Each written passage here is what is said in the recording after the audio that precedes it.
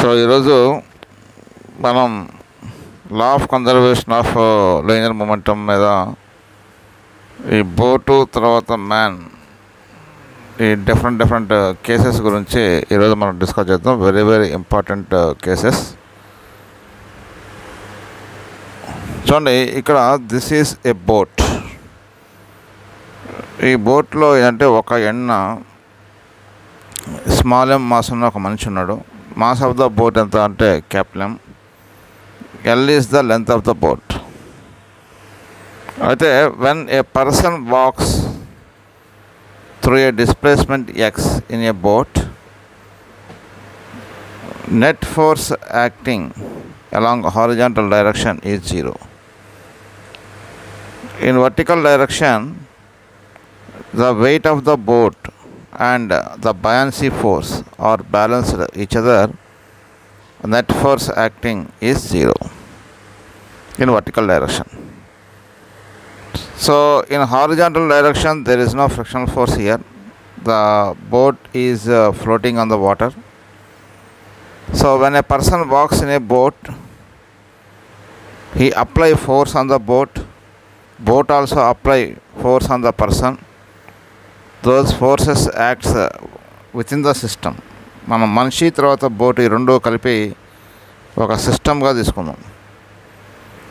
So they are equal and opposite directions and they cancel each other they cancel each other so in horizontal direction net force is zero in horizontal direction net force is zero so Initially, the position of the center of mass is at uh, xcm, somewhere uh, in between uh, these two ends. So here we write uh, xcm is equal to xcm is equal to xcm is equal to what we write here m1 x1 plus m2 x2 whole divided by m1 plus uh, m2 so here uh, by differentiating this uh, equation we write d of xcm d of xcm is equal to xcm into m1 plus m2 is equal to m1 dx1 plus m2 dx2 so ఇక్కడ there is no change in position of centre of mass since there is no external force acting along horizontal direction so XCM is equal to what you write here zero so in horizontal direction there is no external force so కాబట్టి మనం principle of conservation of linear మూమెంట్ని apply చేసినప్పుడు XCM zero అవుతుంది. M one DX one plus M two DX two to equal we what we write here zero so here we write DX one by DX two minus equal capital minus of small m. By small M అక్కడ ఏంటంటే displacements తర్వాత masses రెండు కూడా inverse రేషియోలో ఉన్నాయి. ఓకేనా? If the mass is more displacement is less right so ఇప్పుడు ఎప్పుడైతే ఇక్కడ మనిషి ఎల్ డిస్ప్లేస్మెంట్ ముందు నడిచాడో విత్ రెస్పెక్ట్ టు బోట్ అంటే విత్ రెస్పెక్ట్ టు బోట్ అంటే a person who is in boat observe that he walks a distance L ఎప్పుడైతే నడిచాడో మూమెంటం కన్జర్వ్ కావటం కోసం ఇప్పుడు ఈ మనిషి ఇడిపోతే పోతే ఇక్కడ నుంచి రైట్ లెఫ్ట్ నుంచి రైట్కి పోతే బోట్ ముందుకు పోతుంది. రైట్ నుంచి లెఫ్ట్కి పోతుంది. So the displacement of the boat with respect to ground with respect to ground is X is X so కాబట్టి ఇక్కడ మనకి ఏమవుతుందంటే మనకి negative sign implies that displacement of man and boat are opposite direction అంటే మనిషి ఈ end నుంచి ఈ ఎండ్కి వచ్చాడు. ఈ ఎండ్ నుంచి ఎండ్కి వచ్చినప్పుడు బోట్ ఏం చేస్తుంది అంటే since there is no external force acting on the system to conserve linear momentum boat has to move X displacement in forward direction X displacement in forward direction with respect to ground with respect to ground అంటే మనిషి ఇక్కడి నుంచి ఇక్కడికి ఒక end నుంచి ఇంకొక ఎండ్కి with respect to boat వాడి యొక్క డిస్ప్లేస్మెంట్ ఎంత అంటే ఎల్ అంటే ఇక్కడ చూడండి. Man walks man walks L distance man walks L distance from from ఇప్పుడు మనకి ఇక్కడ ఏదో ఎక్స్ అనుకుందాం ఇదేదో వై అనుకుందాం. ఈ end from X to Y from X to Y with respect to boat with respect to boat. So the displacement of boat the displacement of boat the displacement of boat with respect to ground with respect to ground is x which is opposite to the displacement of a man. Which is opposite to the displacement of a man in backward direction so ఇది forward direction అయితే ఇది backward direction opposite direction so అందుకోసం మనకి ఇక్కడ negative symbol అనేది మనం పెట్టాం ఇక్కడ. నెగిటివ్ సింబల్ పెట్టాం. సో ఇప్పుడు మీరు చూడండి ఇక్కడ డిస్ ఎల్ అంటే ఏంటంటే displacement of man with respect to boat అంటే మనిషి ఇక్కడి నుంచి ఇక్కడికి నడిచాడు.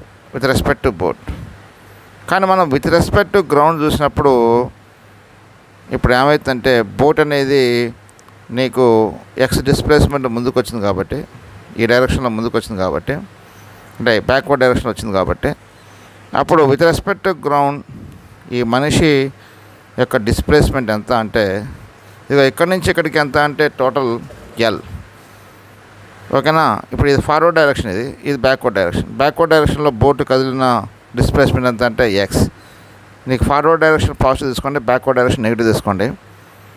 సో ఇప్పుడు మనకి what is the displacement of the man with respect to ground ground మీద ఒక పర్సన్ ఉన్నాడు వాడు ఏం చెప్తాడంటే the displacement of the man is L minus X అంటాడు.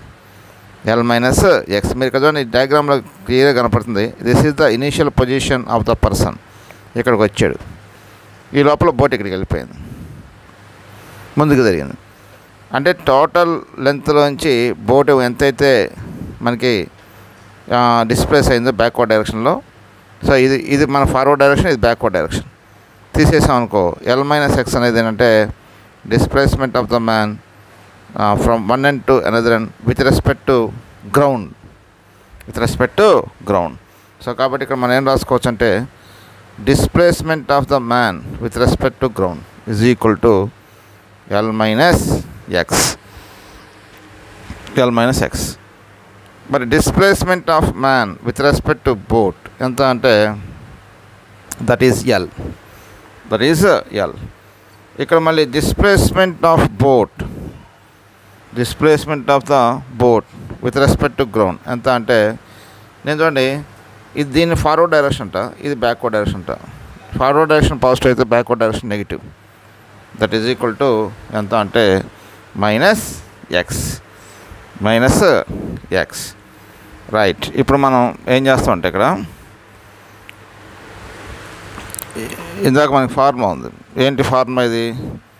DX one by DX two is equal to minus capital M by small M DX one అంటే ఏంటంటే ఈ డిఎక్స్ వన్ డిఎక్స్ టూలు ఏంటంటే displacement of the man and boat with respect to ground ఇప్పుడు dx one అనేది ఏంటంటే displacement of man with respect to ground ఎంత అంటే L minus X divided by displacement of boat with respect to ground ఎంత అంటే minus X that is equal to minus capital M by small M capital M అంటే mass of the boat small M అంటే mass of the person cross multiplication చేద్దాం.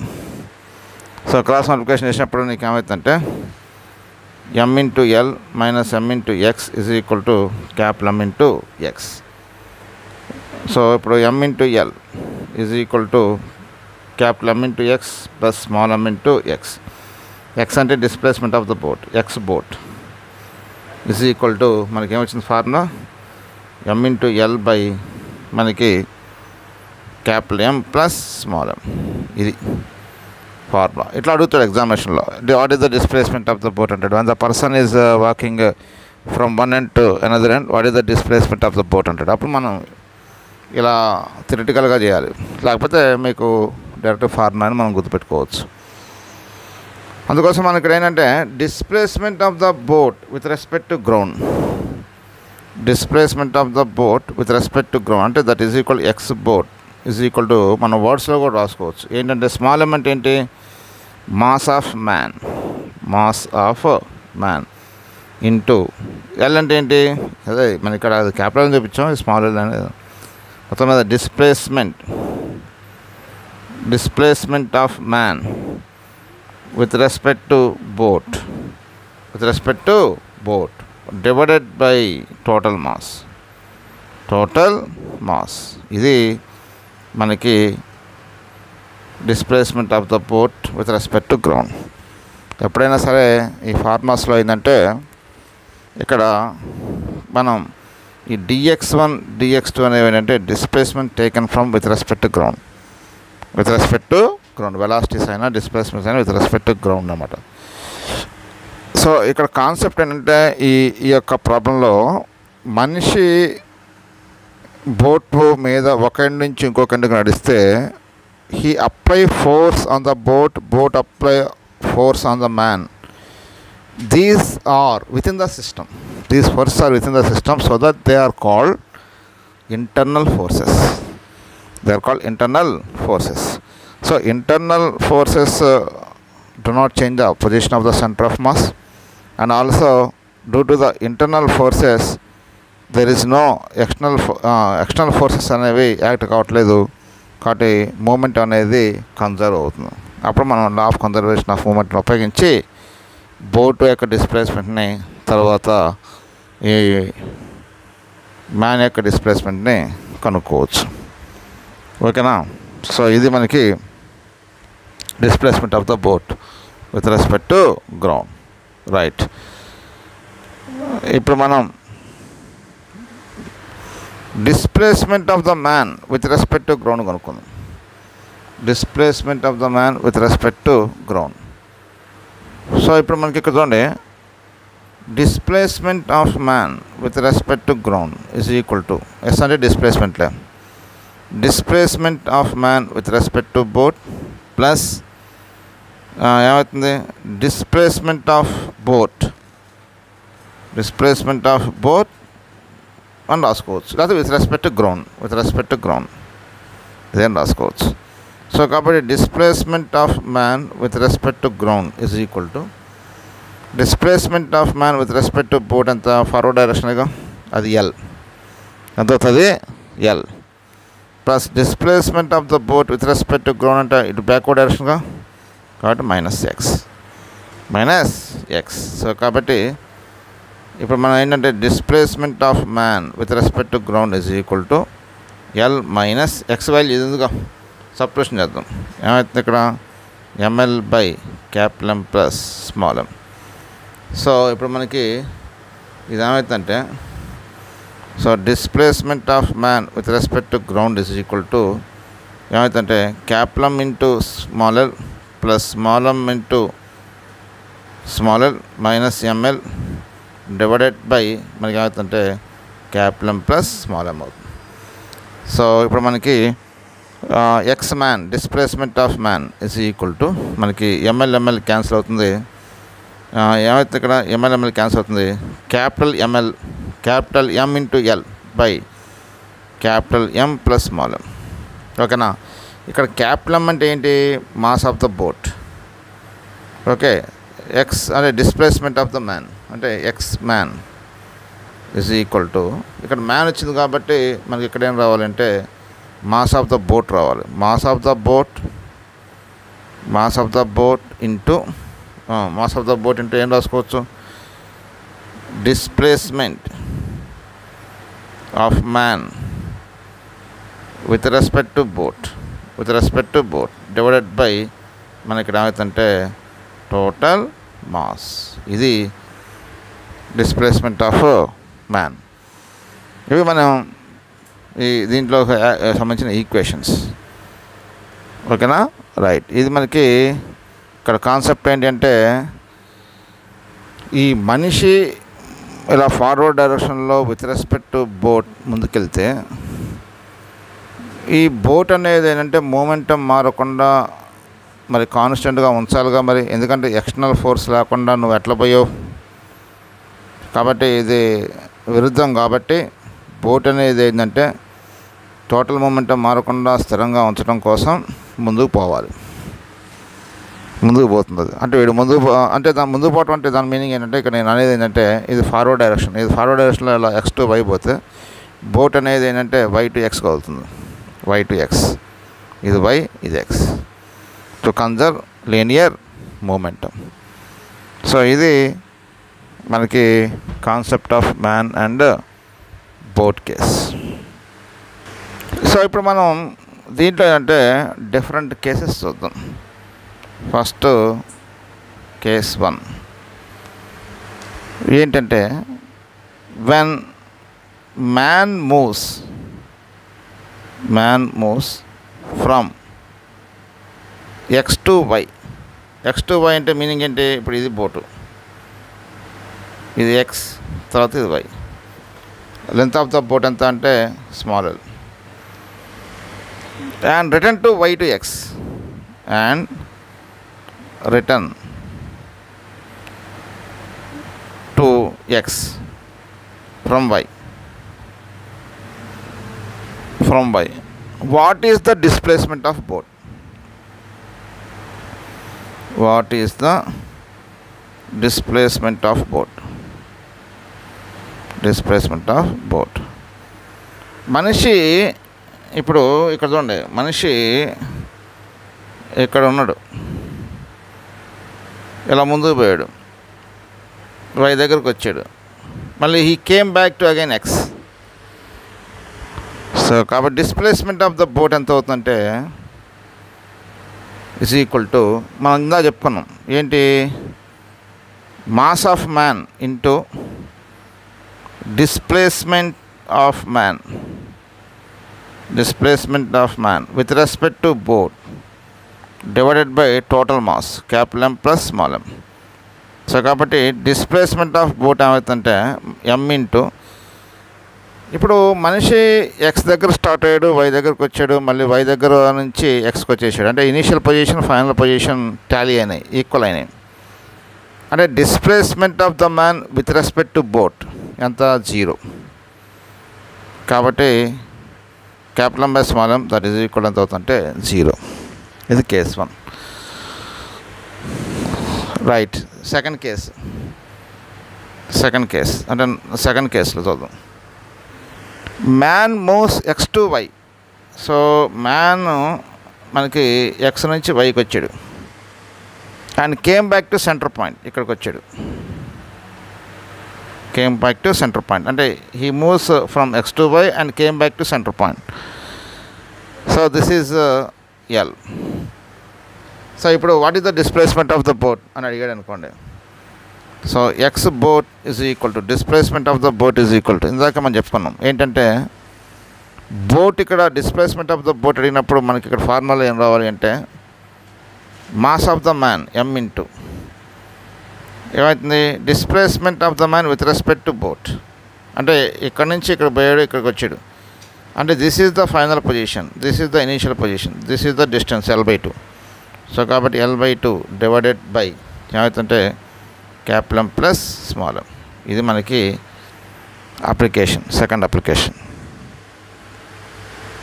Okay ఈ boat case మీద ఇంకొక problem ఏంటంటే a five hundred KG boat is nine meter long is floating without motion on still water a man hundred KG is at rest and if he runs towards other end of the boat and stops the displace and, uh, and stops. So ఇక్కడ నుంచి ఇక్కడికి running చేశాడు అక్కడ ఆగిపోయాడు. The displacement of the boat is ఇందాక మనం చెప్పుకున్నాం. ఎప్పుడైతే ఈ మనిషి ఒక ఎండ్ నుంచి ఇంకొక ఎండ్ కదిలాడో మరి మూమెంటమ్ అనేది there is since there is no external force acting on the system along the horizontal direction to conserve linear momentum boat has to move in opposite direction అది కాన్సెప్ట్ ఇక్కడ. Boat has to move in opposite direction ఇప్పుడు మీరు ఇక్కడ చూడండి ఈ డయాగ్రామ్లో ఇది initial position of the boat ఇక్కడ డాట్ లైన్స్ చూపించాను. ఎప్పుడైతే ఈ మనిషి ఈ ఎండ్ నుంచి ఈ ఎండ్కి వచ్చాడో ఇక్కడికి వచ్చాడో బోట్ ఏమైందంటే మూమెంటాన్ని కన్జర్వ్ చేయడం కోసం ఇలా బ్యాక్వర్డ్ డైరెక్షన్లో కదిలింది. ఇది ఫార్వర్డ్ డైరెక్షన్ ఇది. ఇది వెనక బ్యాక్వర్డ్ డైరెక్షన్. బ్యాక్వర్డ్ డైరెక్షన్లో దీని యొక్క డిస్ప్లేస్మెంట్ ఎంత అంటే X to conserve the linear momentum. ఇప్పుడు మీరు ఇక్కడ ఏం చేస్తారు అంటే ఈ ప్రాబ్లమ్ని అడిగింది ఏంటి మనకి? అడిగింది ఏంటి అంటే the displacement of the boat is how much అన్నాడు. The displacement of the boat is how much right ఇప్పుడు మనం ఫార్మా ఉంది. డిస్ప్లేస్మెంట్ ఆఫ్ ద బోట్ అంటే X boat is equal to ఇందాక మనం చెప్పుకున్నాం. ఏమవుతుంది mass of the man into displacement of the man with respect to boat that is L divided by total mass capital plus small M so ఇప్పుడు మనం దీన్ని separation చేస్తే ఇప్పుడు ఏమవుతుంది? స్మాల్ ఎం అంటే ఎంత?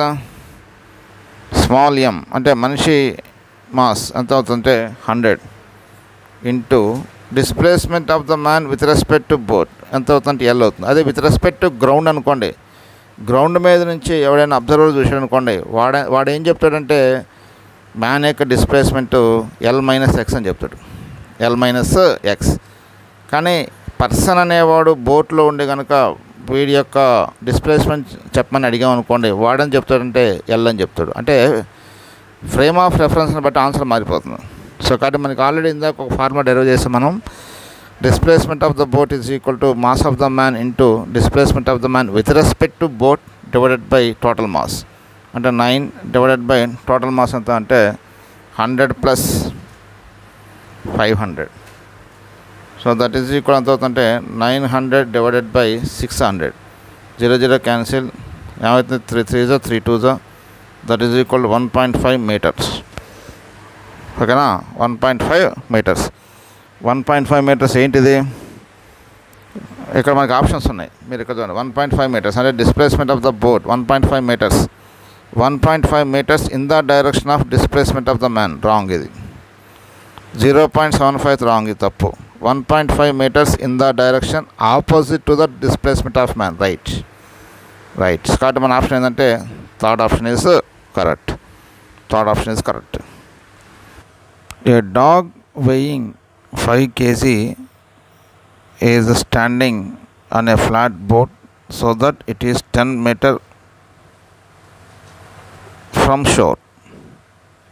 The dog walks 4 meters on the boat towards the shore and then halt. So the boat weighs 20 kg and uh, one can assume that there is no friction between it and water. How far is the dog from the shore at the end of this time? So dog ఈ end నుంచి start అయ్యి towards the shore with respect to boat four meters నడిచింది ఇది షోర్ ఇది ఇక్కడ ఆగింది. And it become to halt here so ఇప్పుడు వాడు ఏమడుతున్నాడంటే ఈ పొజిషన్ ఎక్కడైతే ఆగిందో ఆ పొజిషన్ నుంచి షోర్కు ఉండే డిస్టెన్స్ అంతా అడుగుతున్నాడు.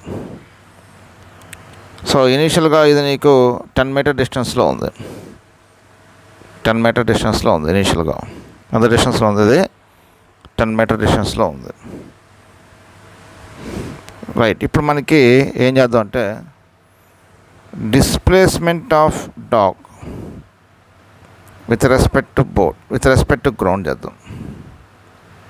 With respect to ground is equal to is equal to ఎంత అవుతుంది? Is equal to mass of boat into displacement of dog. Displacement of dog with respect to boat divided by total mass. Total mass. So kabaddi displacement of the dog with respect to ground is equal to displacement of the dog with respect to ground is equal to mass of the boat. Twenty into displacement of the dog with respect to boat ఇక్కడ problem ఇచ్చాడు. Four metres అది with respect to boat అయితే. By total mass twenty five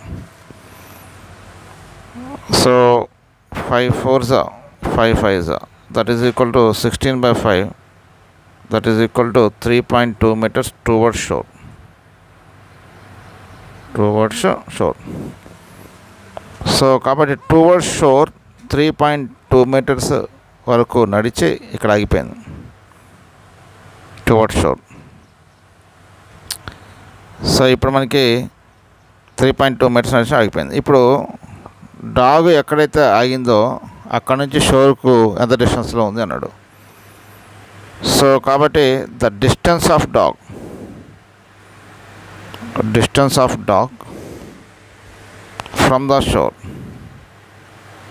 from the shore ఏమవుతుంది ఇక్కడ? అంటే ఇనీషియల్గా ten metre డిస్టెన్స్లో ఉందిగా. టెన్ మైనస్ ఎంత నడిచింది? విత్ రెస్పెక్ట్ గ్రౌండ్ ఎంత నడిచింది? బోట్ మీద three point two toward shore so కాబట్టి ఎంత అవుతుంది ఇప్పుడు? Six point eight meters so కాబట్టి ఇక్కడ నుంచి ఇక్కడికి డిస్టెన్స్ ఎంత అవుతుందంటే సిక్స్ పాయింట్ ఎయిట్ మీటర్స్ ఇది డా డాగ్ ఫైనల్గా ఆగిపోయిన స్టేజ్ ఇది. హాయ్ స్టూడెంట్స్ ఈరోజు మనం వేరియబుల్ మాస్ సిస్టమ్. దీనిలో దీని గురించి మనం తెలుసుకుందాం. పేరులోనే మనకి ఉంది ఇది వేరియబుల్ మాస్. అంటే ఏంటంటే mass vary with respect to time mass vary with respect to time. And mass is added or detached to the system with respect to time. So in that uh, situation, a force is acting on the system. That force is called thrust. So because of this thrust, the velocity and acceleration of the system changes with time. Changes with the time. So, the best example for variable mass system is rocket propulsion is the best example for variable mass system. So, in a rocket, when the fuel is a combustion, then what happens? The gases are released. These gases are released from the nozzle and they are coming out. In that case, the mass is detached from the rocket. Then the thrust is acting on the system because of this thrust the velocity and acceleration of the system increases so రాకెట్లో ఏం జరుగుతుంటే ఈ gases ఎప్పుడైతే burn అవుతాయో ఈ rocket నుంచి eject అవుతాయి. Eject అయినప్పుడు ఆటోమేటిక్గా ఫార్వర్డ్ డైరెక్షన్లో థ్రస్ట్ యాక్ట్ అవుతుంది. ఈ థ్రస్ట్ యాక్ట్ అయినప్పుడు దీని యొక్క వెలాసిటీ తర్వాత యాక్సలేషన్ అనేది ఇంక్రీజ్ అవుతాయి. అంటే some mass is detached from this system.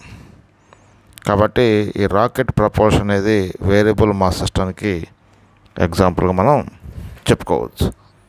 ఇప్పుడు మనం జనరల్ ఫార్ములా డెరైవ్ చేద్దాం. జనరల్ ఫార్ములా దేనికి rocket proportion general variable mass సిస్టమ్కి జనరల్ ఫార్ములా డెరైవ్ చేద్దాం. సో ఇప్పుడు మనం ఏం చేద్దాం అంటే let's consider a small mass a small mass delta m which is moving with velocity u which is attached to the bigger mass. The bigger mass has a mass M which is moving with velocity v with respect to ground. Both velocities are with respect to ground. Then, when this mass is attached to the bigger mass, what happens? This body mass becomes now m plus delta m. So now this body is moving with velocity v plus delta v. v plus delta v with respect to ground. With respect to ground. Okay now. So let us uh, assume in this process in a time delta t in delta t time delta t time f external force. F external force. That means external force acts on system. Acts on a system. So now we apply law of conservation of uh, linear momentum. Okay now. So in delta time t f external force acts on the system. F external force is acts on the system. Now we want to find out the velocity of uh, bigger mass. Velocity of bigger mass. So now we apply second law newton's second law of motion. According to newton's second law the external force acts on the system is equal to in a small time interval delta t tends to 0 uh, is equal to what we write here? Delta p by delta t according to newton second law. So here f external is equal to external force acting on the system limit delta t tends to 0 delta p change in momentum final momentum minus initial momentum. That means change in moment of the system. M plus delta m into v plus delta v minus initial momentum delta m into u. Momentum of the smaller piece minus momentum of the bigger piece mv whole divided by what we write here delta t. So here f external is equal to F external is equal to మనం ఏం చేద్దాం అంటే దీన్ని multiply చేద్దాం. ఇక్కడ ఏమవుతుందంటే m into b m b plus m into delta b m into delta b plus delta m into b plus delta m into delta b minus delta m into u minus m b divided by delta t. Divided by delta t. ఇక్కడ మనకి m b m b cancel. Already ఇక్కడ delta ఎం delta వి అనేది చాలా చాలా negligible quantities కాబట్టి వీటిని మనం neglect చేయొచ్చు. So F external force acts on the system is equal to m into delta b plus delta m into b minus delta m into u divided by what we write here delta t so ఇక్కడ F external force is equal to మనకి ఏమవుతుందంటే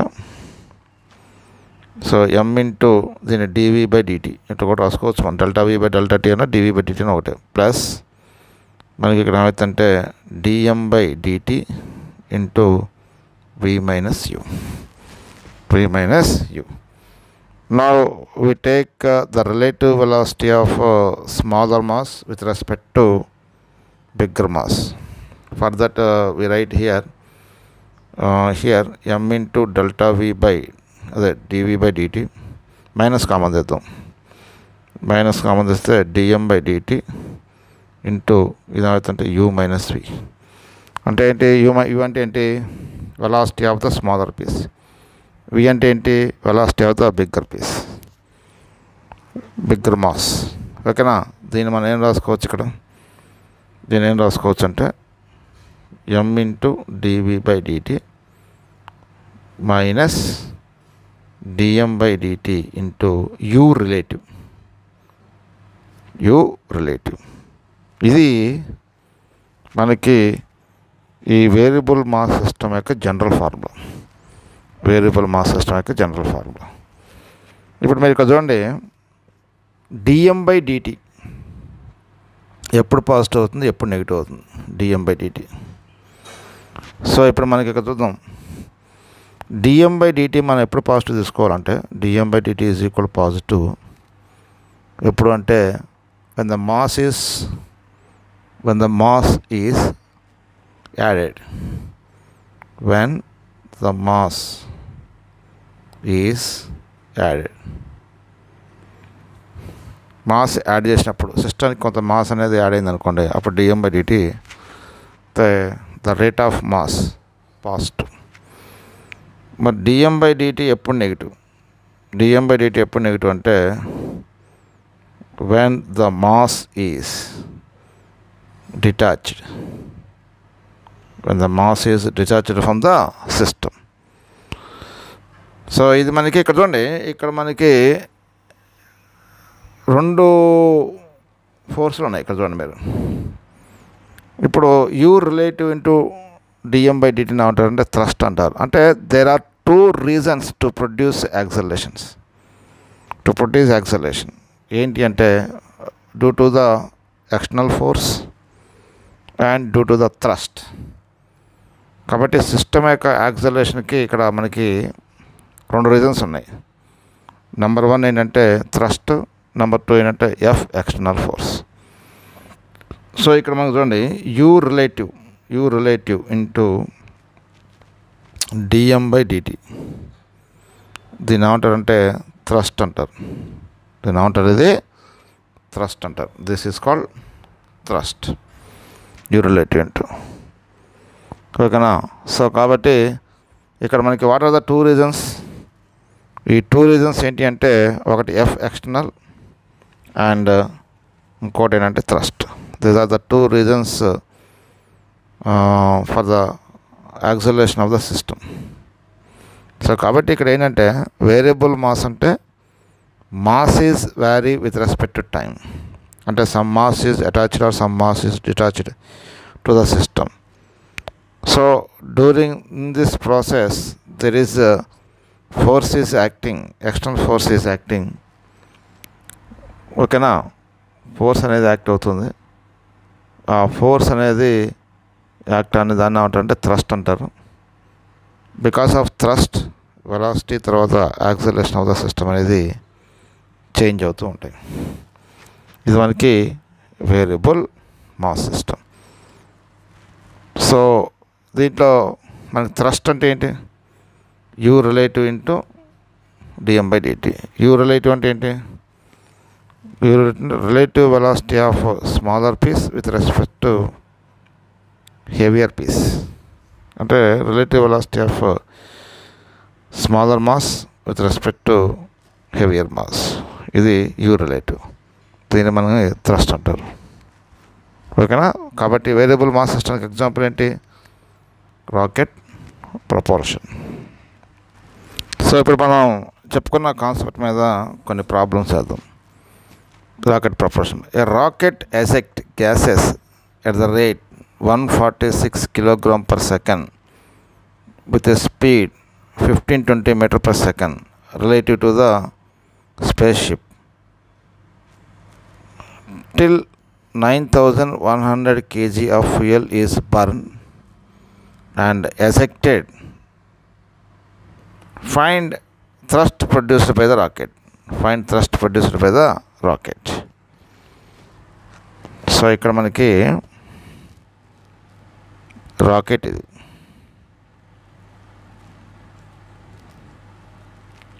so ఈ rocket మనకి ఎంత స్పీడ్తో పోతుంది ఇది rocket ఈ రాకెట్ అనేది స్పీడ్ ఇచ్చేయడం మనకి. Find the thrust thrust acted upon by the rocket so ఈ ప్రాబ్లంలో what is the thrust produced by the rocket అన్నాడు. So thrust produced by the rocket is equal to u relative into dm by dt u relative into dm by dt so ఈ rocket అనేది గ్యాసెస్ని eject చేస్తుంది బయటికి with a what speed fifteen twenty meter per second speed fifteen twenty meter per second speed తర్వాత మా ఇక్కడ ఏమవుతుందంటే mass అనేది ఈ సిస్టమ్ నుంచి డిటాచ్ అవుతుంది. కాబట్టి ఇక్కడ డిఎం బై డిటి అనేది ఏమవుతుందంటే ఎంత ఇచ్చాడంటే one forty six kg per second this is minus this is what minus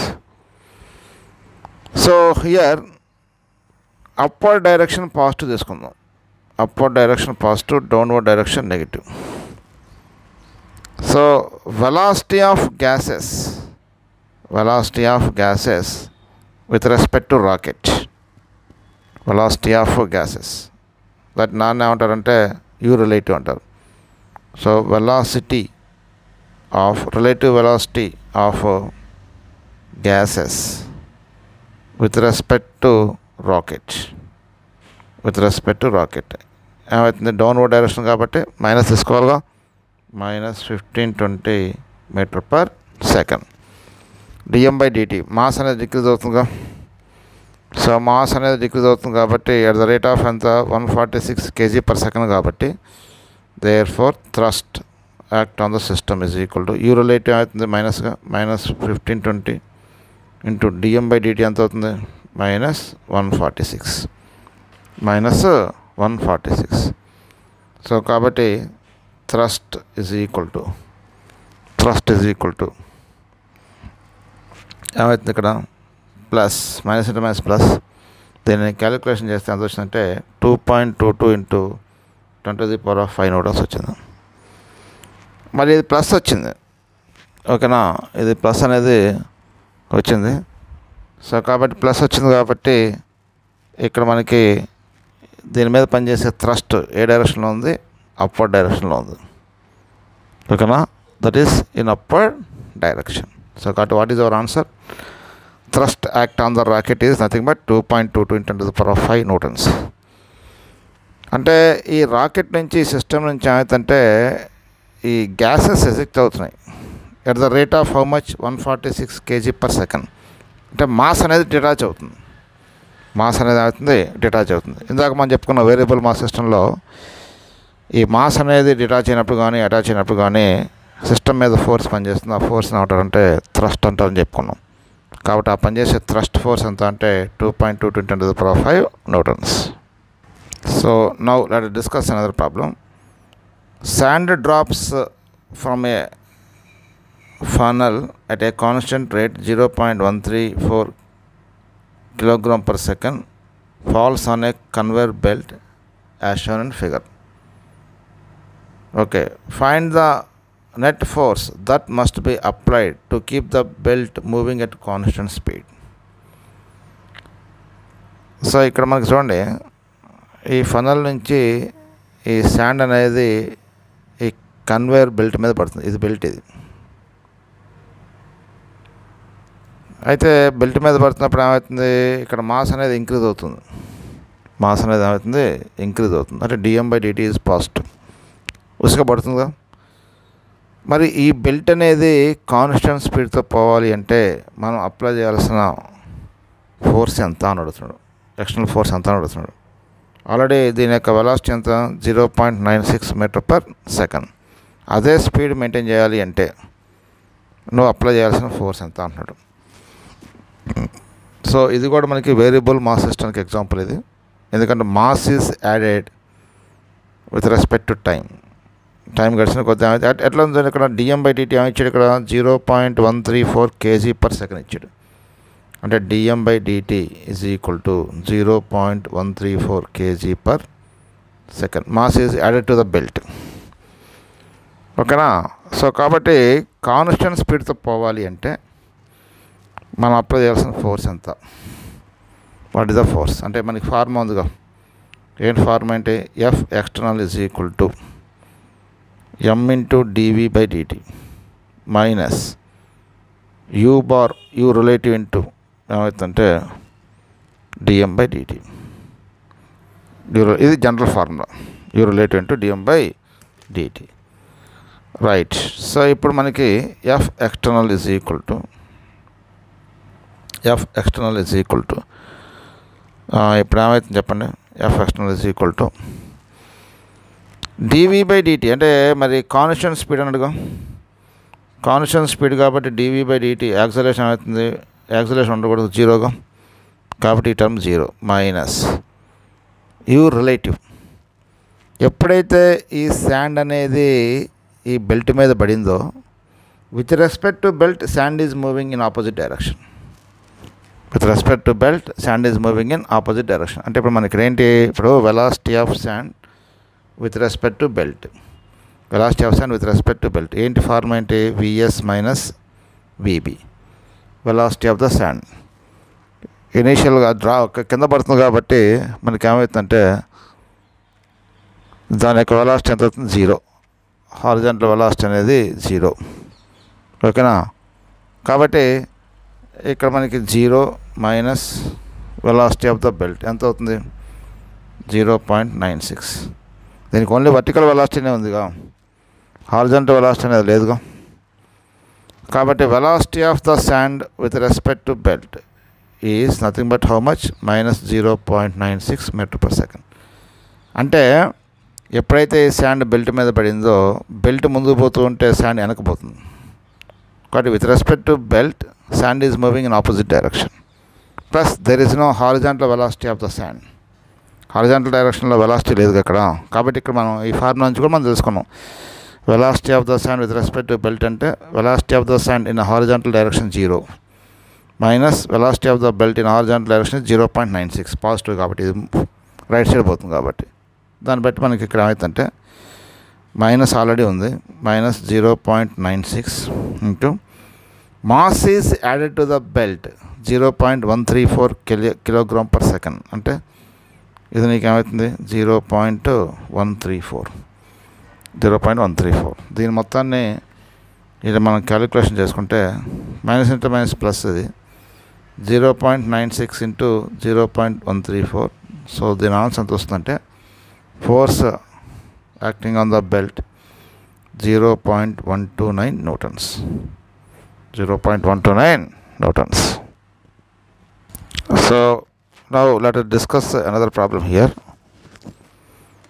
a rocket moves in in the absence of external forces in the absence of uh, external forces జనరల్గా రాకెట్లు అనేవి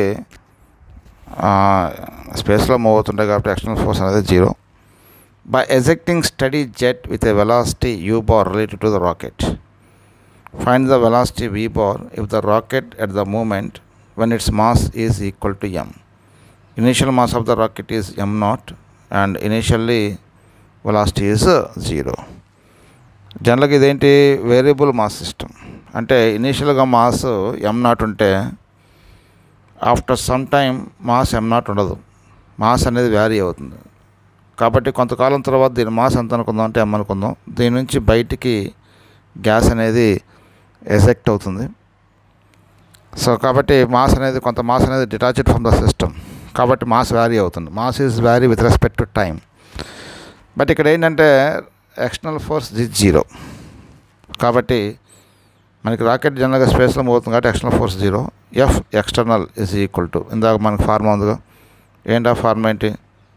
M into dv by dt minus u relative u bar relative into dm by dt right so ఇప్పుడు మనకి F external జీరోగా మనం ఏం కనుక్కోవాలి? Velocity కనుక్కోవాలి. Zero is equal to m into dv by dt minus u relative u relative అంటే ఏంటి?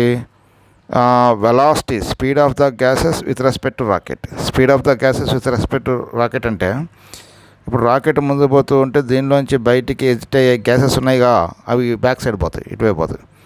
కాబట్టి you relative into ఏమవుతుందంటే dm by dt dm by dt so ఇప్పుడు మనం ఏం చేద్దాం అంటే సో ఇక్కడ m into dv by dt is equal to u relative u relative into ఏమవుతుంది dm by dt dm by dt ఇది యూ రిలేటివ్ యాక్చువల్గా నీకేంటి ఇక్కడ అంటే ఓకే. ఇప్పుడు మనం ఇక్కడ వేరియబుల్ సపరబుల్ మెథడ్లో మీ ఇది. Dt dt cancel dt dt cancel so integration ఇక్కడ dv bar is equal to ఏమవుతుంది ఇక్కడ? U relative into dm u relative into dm so integration ఇక్కడ ఆల్రెడీ ఎమ్ కూడా ఉందిగా so dv bar is equal to u relative into dm by m dm by m so ఇప్పుడు మనం ఏం చేద్దాం అంటే ఇక్కడ ఇంటిగ్రేషన్ చేద్దాం. Integration of dv from initial speed zero to v is equal to u relative into integration of dm by m initial mass అంతా m naught after some time దీని mass అంతా ఎం కాబట్టి v is equal to form ఏంటి you relative bar ఇదేంటిది log ఎం so limits ఏంటి ఇక్కడ m naught ఇది m so v is equal to u relative so log m naught minus ఇక్కడ ML ML అది log m minus log m naught so v is equal to ఏమవుతుంది ఇక్కడ? U relative is into log a minus log b అంటే ఎంత అవుతుంది log m by m naught log m by m naught ఇది the velocity of the rocket after time t velocity of the rocket after time t so ఇక్కడ next మనకి ఇంకో problem ఏంటంటే a flat car of mass m naught starts moving to right due to constant horizontal force F so sand slips on the flat car from a stationary hopper the rate of loading is constant and is equal to mu u kg per second mu kg per second find the velocity and acceleration as a function of time velocity and acceleration as a function of time so మనకి ఇందాక చెప్పుకున్నాం ఇక్కడ variable mass సిస్టంలో మనకి d of dt mv is equal to F external plus ఏంటి ఇక్కడ u relative into dm by dt ఇందా చెప్పుకున్నాం యాక్సలరేషన్కి తర్వాత వెలాసిటీ ఇంక్రిమెంట్కి కారణం ఎవరు అంటే రెండు ఫోర్స్లు ఎక్స్టర్నల్ ఫోర్స్ తర్వాత థ్రస్ట్ ఫోర్స్ సో ఇక్కడ మనకి ఇనీషియల్గా ఈ కార్ట్ యొక్క velocity T is equal zero దగ్గర జీరో సో దీని మీద హారిజాంటల్ ఫోర్స్ ఎంత యాక్ట్ అయింది? ఎఫ్ అనే ఫోర్స్ యాక్ట్ అయింది హారిజాంటల్ డైరెక్షన్లో రైట్ ఇక్కడ లోడింగ్ అవుతూ ఉంది ఇసుక పడుతుంది దీని కార్ట్లో ఇసుక పడుతుంది ఎలా పడుతుందంటే mu kg per second mu kg per second అంటే ఎవ్రీ సెకండ్కి మనకి మ్యూ యాడ్ అవుతుంది. ఓకేనా? రైట్ సో ఇప్పుడు మనకి ఇక్కడ చూడండి. Dm by dt rate of mass is equal అంత rate of adding mass with respect to time rate of mass mass is added with respect to time dm by dt is equal to mu అంటే DM is equal మనం ఏం రాసుకోవచ్చు? Mu into DT అని రాసుకోవచ్చు. Integration చేద్దాం. Integration of dm is equal to integration of mu into dt so m is equal ఎంత అవుతుంది mu into t అంటే ఏంటి? After time t seconds the mass is added to the cart ఎంత అంటే? M is equal to mu t variable mass సిస్టంగా విసుగపడుతూ ఉంటే mass add అవుతూనే ఉంటుందిగా నెక్స్ట్ ఇంకొకటి ఏంటంటే వెలాసిటీ రిలేటివ్ వెలాసిటీ కనుక్కోవాలి. Velocity of sand with respect to cart velocity of the sand with respect to cart so ఇప్పుడు మనకి ఇక్కడ చూడండి. Velocity of sand with respect to cart అంటే ఇక్కడ దీనికి వెలాసిటీ ఆఫ్ ద శాండ్ దీనికి శాండ్ యొక్క వెలాసిటీ ఎలా ఉందంటే వర్టికల్ డైరెక్షన్లో ఉంది. అంటే there is no velocity along horizontal direction so కాబట్టి మనకి velocity of the sand with respect to cart అంటే విఎస్ మైనస్ విసి విఎస్ అంటే నీకు ఏమవుతుందంటే జీరో ఇన్ హారిజాంటల్ డైరెక్షన్ ఇక హారిజాంటల్ డైరెక్షన్లో దీని వెలాసిటీ ఎంత అంటే వి ఇదంతా లేకపోయినా కూడా మనకు తెలుసుకో ఇప్పుడు ఇది యాక్చువల్గా ఏదంటే ఇది ఫార్వర్డ్ డైరెక్షన్లో పోతుంది కార్ట్ ఇసుక దాని మీద పడితే ఇసుక ఏమవుతుంది with respect to cart it is moving backward direction so కాబట్టి vsc is equal to minus v minus v horizontal direction దానికి ఏం వెలాసిటీ ఏం లేదుగా. సో కాబట్టి ఇప్పుడు మనం ఏం చేద్దాం అంటే ఈ ఫార్మాలో ఇప్పుడు d of dt mv is equal to external force acting on the system అంతా ఎఫ్ మైనస్ యూ రిలేటివ్ అంతా వి అంటే sand with respect to relative velocity of sand with respect to cart b into dm by dt dm by dt అంత mu mu kg per second so ఇప్పుడు మనం acceleration of the system కనుక్కుందాం. ఇప్పుడు ఎం అంటే చూడండి m into d v by d t is equal to f minus v mu m అంటే ఏంటి? Mass of the system after time t mass of the system after time t అంటే నీకు initial mass అంతా m naught after time t తర్వాత కొంత mass add అవుతుందిగా. ఎంత ఆడైంది మ్యూటీ. కాబట్టి mu t. Into d v by d t. Is equal to f minus v mu. మనం ఇప్పుడు యాక్సిలేషన్ ఆఫ్ ద సిస్టమ్ కనుక్కుందాం. Acceleration of the system. D v by d t అంటే ఏనేగా? కాబట్టి ఏ ఈజ్ ఈక్వల్ అవుతుంది? F minus v mu divided by m naught plus mu t. ఇది acceleration acceleration is function of time అంటే ఇప్పుడు నీకు ఏమవుతుంది ఇక్కడ? Acceleration is a function of time ఇక్కడ. సో ఇప్పుడు మనకి a is equal to f minus v mu divided by m naught plus mu t right next వాడు ఏమన్నాడంటే వెలాసిటీ కనుక్కోమన్నాడు. వెలాసిటీ కనుక్కోవాలి. ఇప్పుడు మనం ఏంటంటే acceleration we find acceleration with a function of time కనుక్కున్నాం మనం. ఇప్పుడు నెక్స్ట్ మనం ఏం కనుక్కోవాలి అంటే వెలాసిటీ కనుక్కోవాలి. సో ఇప్పుడు వెలాసిటీ కనుక్కోవాలి అంటే మనం ఏం చేస్తాం చూద్దాం ఫస్ట్ ఇక్కడ మనకి m naught plus mu t into d v by d t is equal to f minus v mu వచ్చింది. ఓకే దీన్ని వేరియబుల్ సెపరబుల్ సిస్టంలో ఇంటిగ్రేషన్ చేద్దాం. అంటే d v by d v by f minus v mu is equal to d t by మనకి ఏమవుతుందంటే m naught plus mu t m naught plus mu t ఇలా మనం చేసాం. M naught plus mu t so దీన్ని integration చేద్దాం. Integration చేద్దాం. Zero to v d v by f minus v now v mu is equal to integration of zero to t d t by m naught plus mu t so integration చేసినప్పుడు integration of మనకి d v by f minus mu v mu ఎంత అవుతుందంటే minus one by mu minus one by mu log f minus ఇక్కడ మనకి వీన్యూ యొక్క derivative అంతే ఇదేగా? Hmm.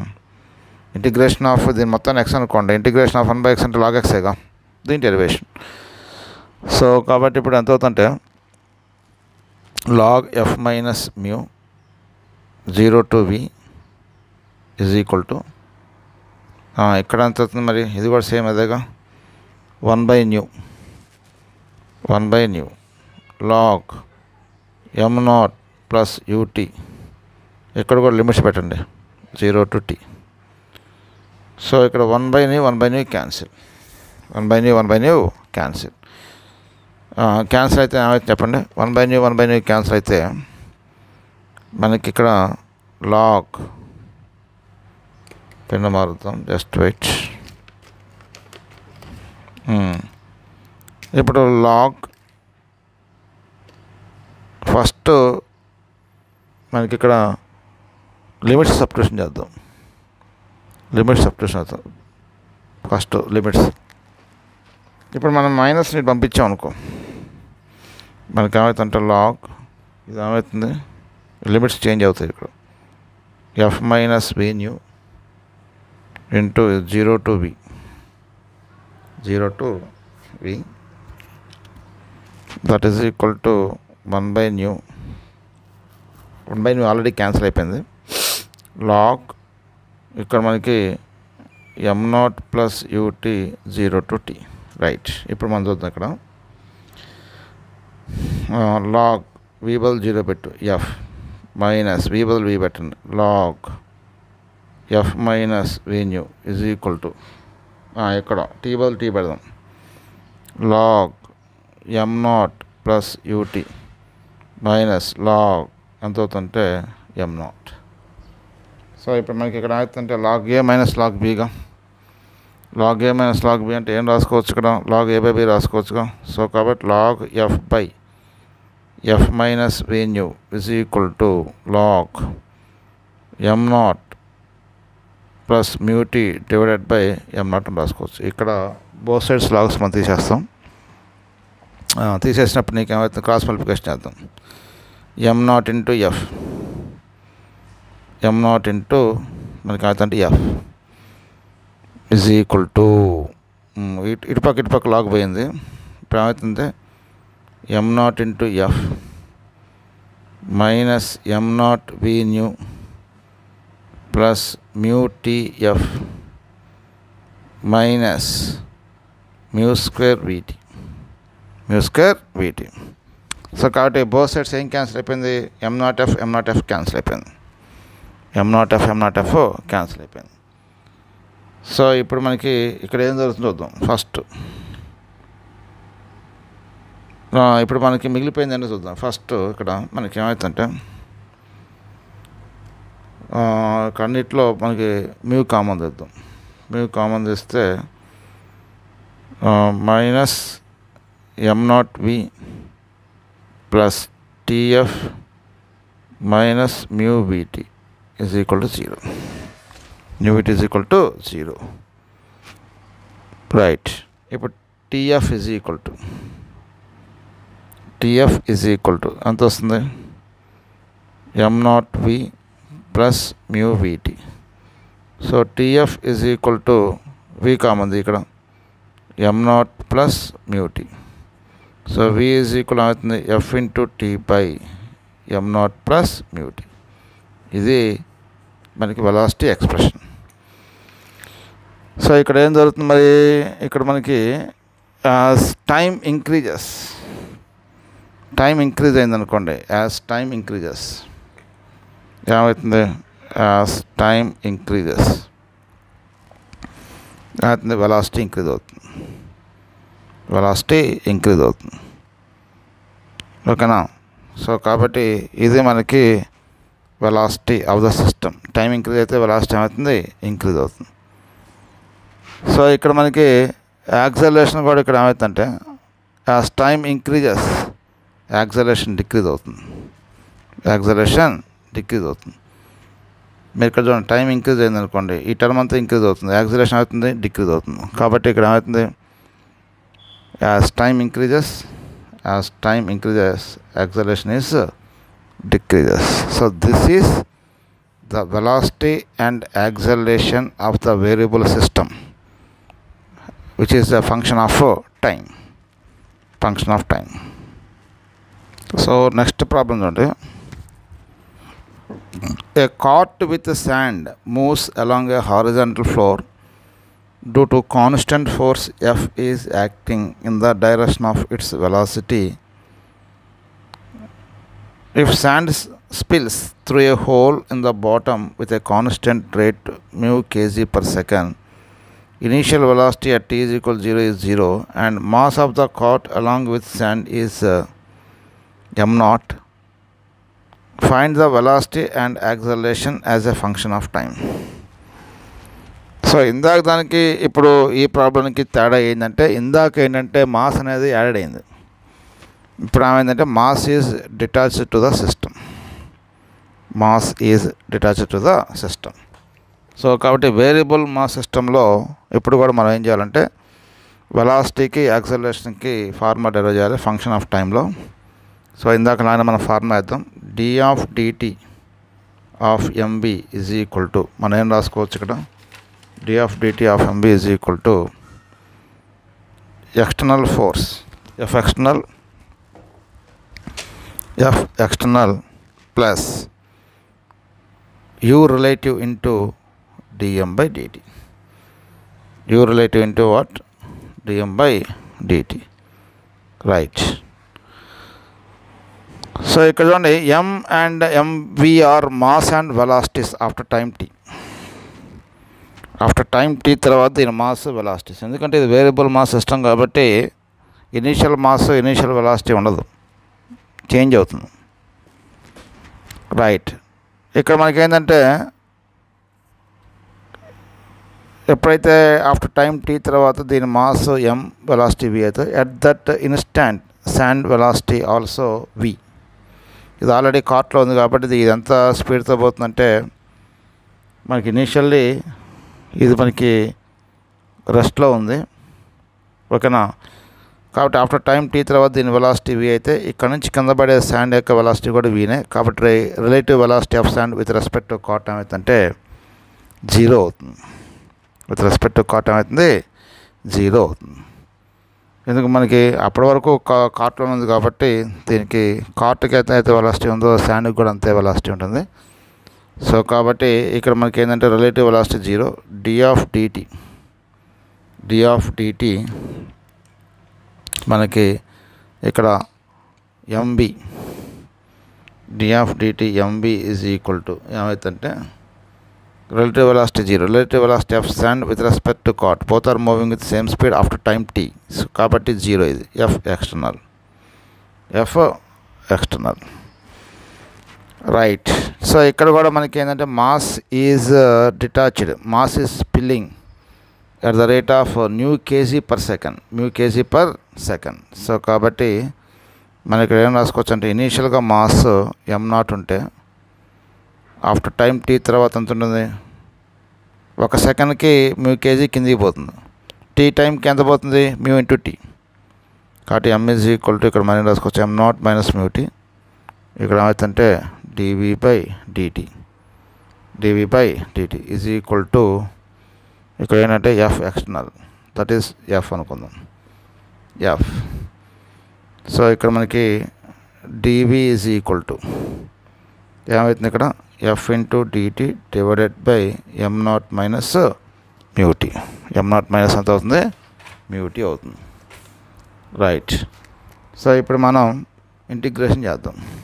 Integration చేద్దాం వెలాసిటీకి ఆల్రెడీ ఇక్కడ నుంచి యాక్సలేషన్ కూడా కనుక్కోవచ్చు. ఇక్కడ యాక్సలేషన్ ఈక్వల్ అవుతుంది f by mu naught minus t m naught minus mu t acceleration అంటే ఇదేగా formula a is equal to acceleration formula ఏంటి? F by mu naught minus mu t అంటే ఇక్కడ మనం డిసైడ్ చేయొచ్చు. యాజ్ టైం ఇంక్రీజెస్ ఏమవుతుంది time increase అయితే ఈ వాల్యూ తగ్గిపోతుంది. కాబట్టి యాక్సలేషన్ ఏమవుతుంది యాక్సలేషన్ ఏమవుతుంది టైం ఇంక్రీజ్ అయింది అనుకోండి డినామీటర్ వాల్యూ ఏమవుతుంది? ఎం నాట్ మైనస్ మ్యూటీ ఉందా లేదా? M naught minus mu t value decrease అవుతుంది. డిక్రీజ్ అయితే యాక్సలేషన్ అవుతుంది ఇంక్రీజ్ అవుతుంది. యాక్సలేషన్ అవుతుంది ఇంక్రీజ్ అవుతుంది. సో కాబట్టి మాస్ తగ్గిపోతుంది అక్కడ. మనకి కింద శాండ్ పోతూనే ఉందిగా సో ఇప్పుడు మనం చూద్దాం. D v d v is equal to f into d t divided by mu naught m naught minus mu t right integration చేద్దాం ఇక్కడ. So integration of d v from zero to v is equal to integration of zero to t f into d t divided by m naught minus mu t so integration of d v అంటే ఎంత తెలుసుగా? V v so f into f constant ఫోర్సే కదా? అంటే zero to t d t by m naught minus mu t so ఇక్కడ మనకి f is equal to v is equal to integration of one by m naught minus mu t m naught minus mu t అంటే ఇందాక మనం చేసుకున్నాం already ఏమవుతుంది f into minus one by mu log ఏమవుతుంది ఇక్కడ? M naught minus mu t limits ఏంటి? Limits zero to t zero to t so ఇక్కడ minus పోవాలి అంటే లిమిట్స్ చేంజ్ చేయండి ఇంటర్చేంజ్ చేయండి. వి ఈజ్ ఈక్వల్ ఏమవుతుందంటే ఎఫ్ బై న్యూ మనకి ఇది ఏమవుతుందంటే log M naught minus mu T ఓకేనా? ఈ పైన జీరో వస్తుంది కింద టీ వస్తుంది. So V is equal to F by mu T బదులు జీరో పెట్టండి. ఏమవుతుంది log M naught minus T బదులు టీ పెట్టండి. Log M naught minus mu T so log A minus log B log A by బీనేగా కాబట్టి వి is equal అవుతుంది. F by mu log M naught by M naught minus mu T